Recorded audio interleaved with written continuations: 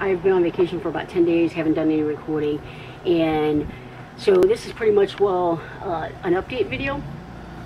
I got the emissions and safety test done. Both of those passed inspection, which is super exciting. This is an 03. Um, I haven't, I don't have, I don't have personally 50 miles on it, so um, really don't have a, a, lot of experience with the van yet. So uh, got the insurance, license plate, all that, all that technical stuff is done now. So I am going to put some furring strips on the ceiling today to help hold the insulation up and to mount the, I'm going to put cedar on the ceiling so those will be nailing strips for that. It's getting ready to rain here but I'm going to try and cut the half inch furring strips for the ceiling so that I can get out of the rain inside the van and work on getting those screwed up. So I'm going to do a bunch of cutting and uh, get those get those knocked out.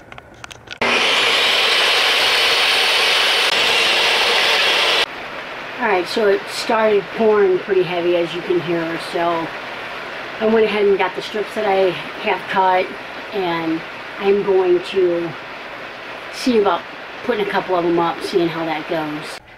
Alright, so I had a couple of the furring strips up on the ribs and realized that I didn't insulate them and thought about maybe just putting the foam insul the spray foam insulation up in there and then decided against it. I'm using the Havelock wool and I don't want to I just want to keep it all uniform so now I have to insulate the ribs here and then put the um, furring strips on.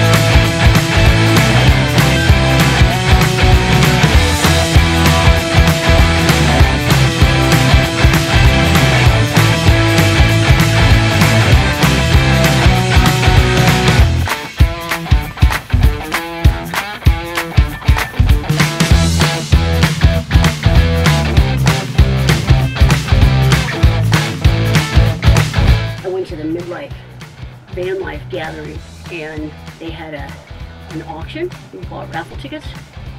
So I bought $20 worth of raffle tickets and I put I think 15 tickets in a jar for Havelock wool. It was three bundles and needless to say I won which was pretty phenomenal because out of all the stuff that they had there, it was, um, I was in the pre-van stages and had no idea I'd have a van this quick. Wasn't really planning on getting one until the middle of, well, probably March or April next year and he's going to get a small van like the Nissan, um, short, short cab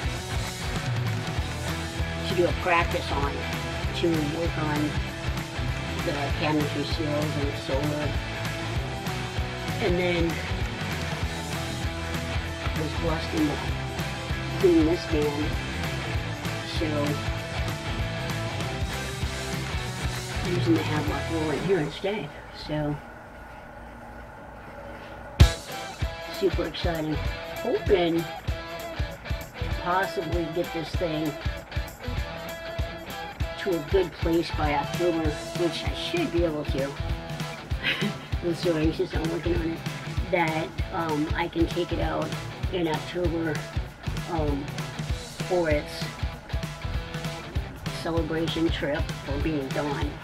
Hopefully I'll have it out several camping trips and hikes before then. Um, but for the for it having, having it absolutely 100% complete, I'm shooting for the beginning of October. That would be that would be a good a good date. I'm getting better at this the further I go along. It's getting easier. I guess I'm getting used to it. At my feet are in of this hole's got some some areas that bend up. And it appears to snagging on that. Uh, Probably what was cutting the cord. When I was trying to hold that insulation up.